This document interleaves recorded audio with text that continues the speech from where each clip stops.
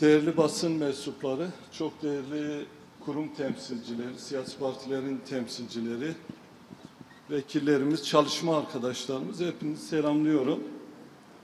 Evet tam da bu meydanda çok barbarca bir katliam meydana geldi. Bu katliamda 103 canımızı yitirdik.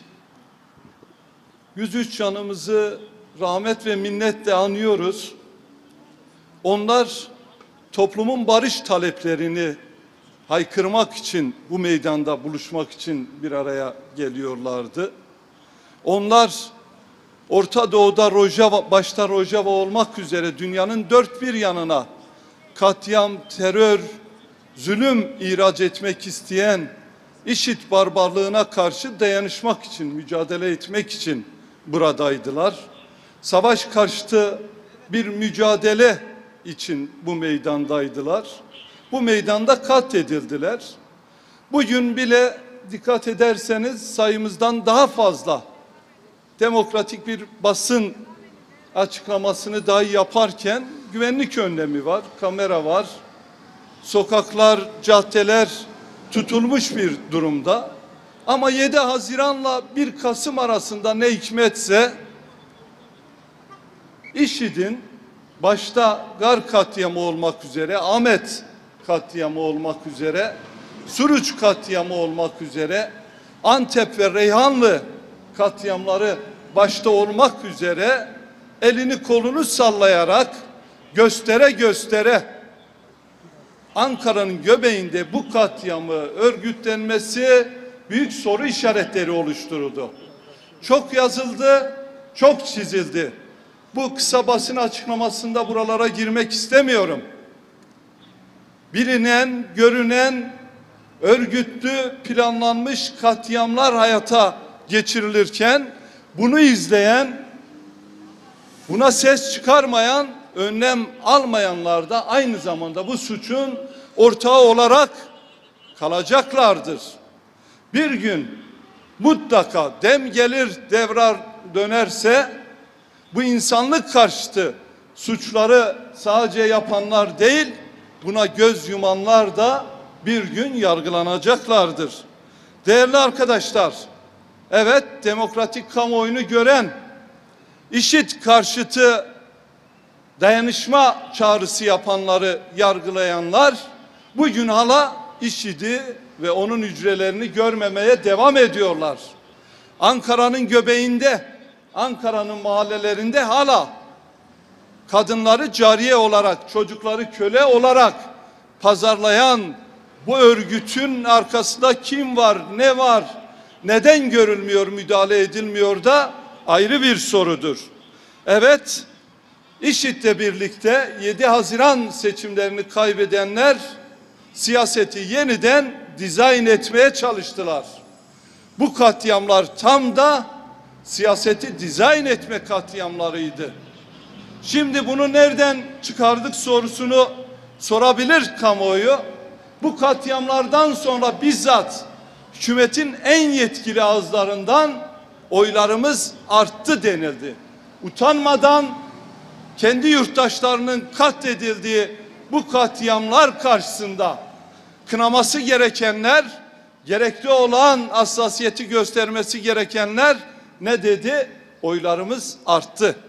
Yani bu katliamlar demek ki birilerinin işlerine yaradılar ve bu katliamlar hala gerçek failleriyle birlikte yargılanmıyor.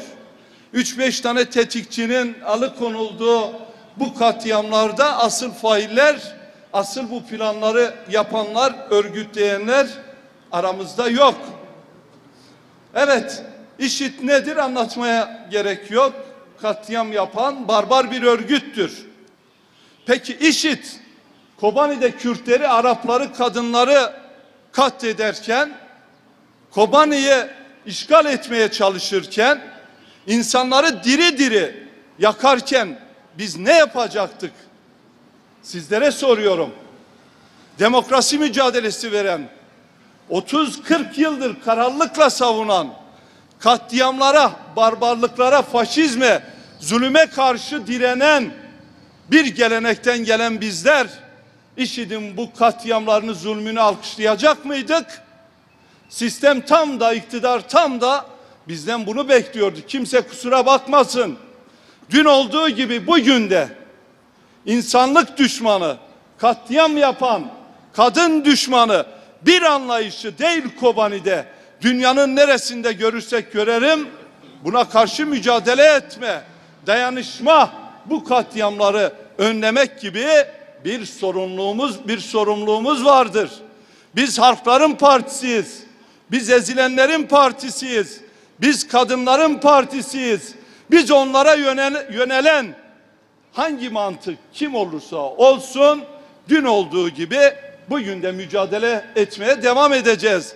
IŞİD'i yargılamayanlar, IŞİD katliamlarına göz yumanlar, IŞİD'in bu katliamları yaparken aldığı malzemelerin dahi adreslerinin belli olduğu bu malzemeleri bu katliam bölgelerine taşırken araçların dahi plakalarının dahi belli olduğu bir durumda neyi bekliyorduk? Bunların yargılanmasını ama kim yargılandı? Demokratik Kürt siyaseti yargılandı. Katliam yapanlar yargılanmadı. Katliamla katliam yapanlar aklanmaya çalışıldı.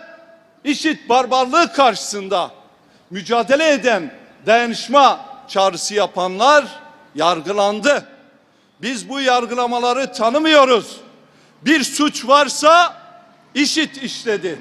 Bir suç varsa işi de destek veren göz yumanlar Ankara'nın bu meydanında bunca kamera ve mobesa'nın bulunduğu yerde bu katliamların olmasının zeminini hazırlayanlar suçludur. Demokratik siyaset yürütenler suçlu değil. Asıl yargılanması gerekenler bizleri yargılıyorlar.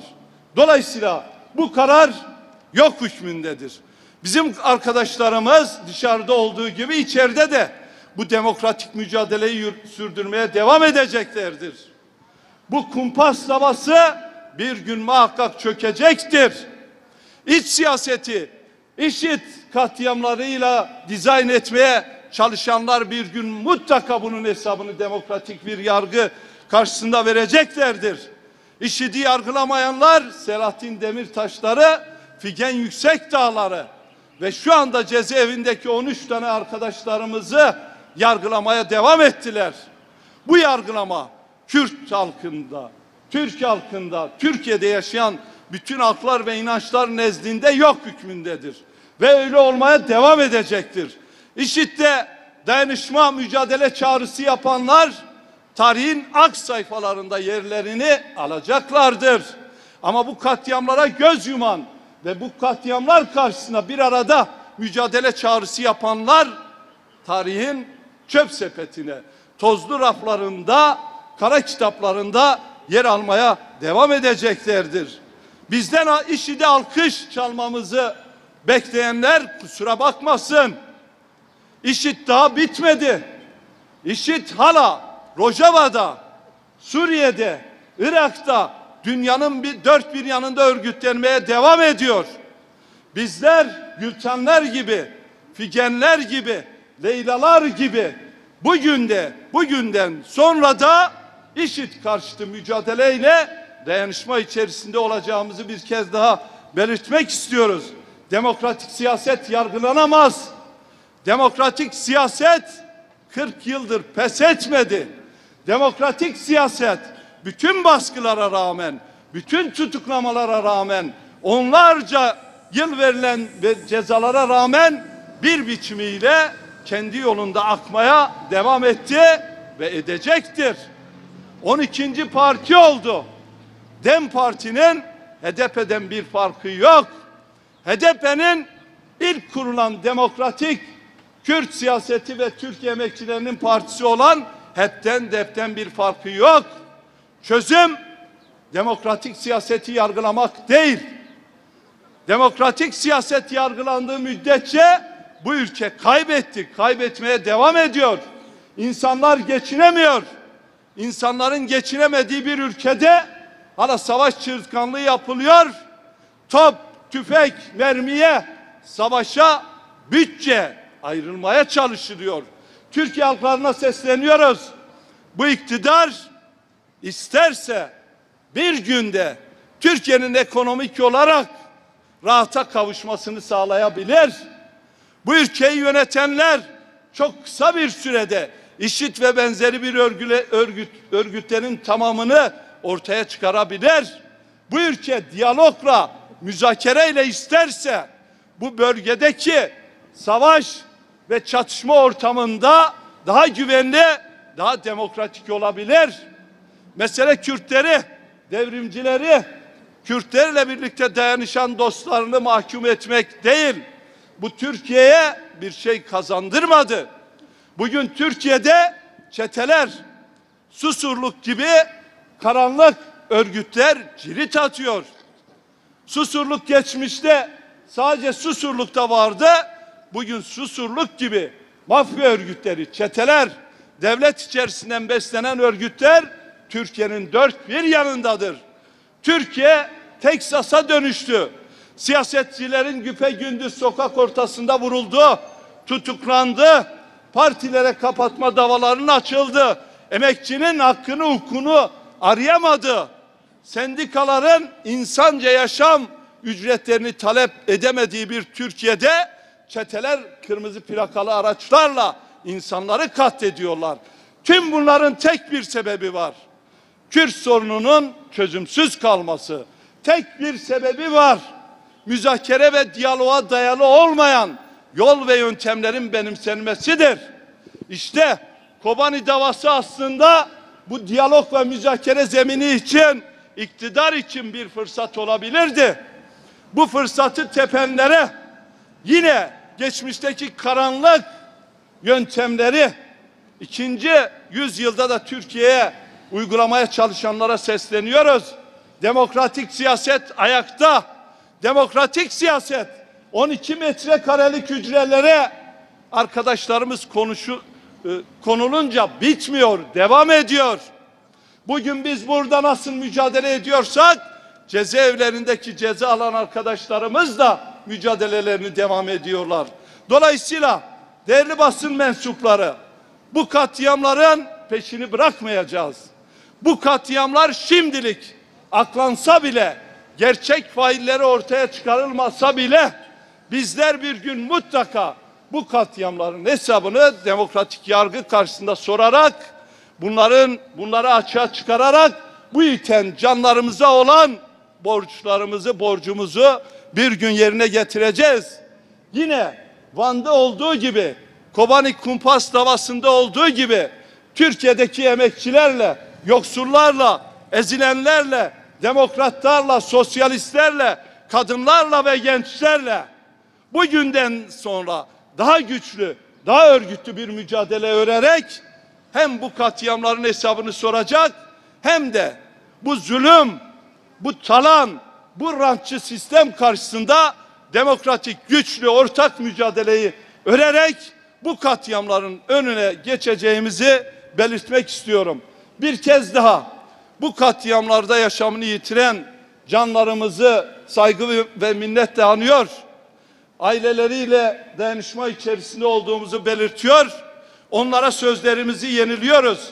Demokratik bir ülkede özgürce sistemin besleyerek emekçilerin yoksulların üzerine sürdüğü bu çetelerin ortadan kaldırıldığı, rantın, zulmün, yokluğun, yoksulluğun bittiği bir Türkiye mücadelesini bugünden sonra daha güçlü bir şekilde yürüteceğimizin sözünü veriyor. Kobani Kumpas davasında ceza alan yoldaşlarımızla 7 24 saat hiç durmadan çalışacağımızı ve bu davanın boşa çıkarak bu davanın beraatla sonuçlanması için de içeride, dışarıda bütün gücümüzle diplomasi yaparak, direnerek arkadaşlarımızı gündemde tutarak mücadelelerine destek vererek bu süreci devam ettireceğimizi belirtmek istiyor. Hepinize selam ve sevgilerimi sunuyorum.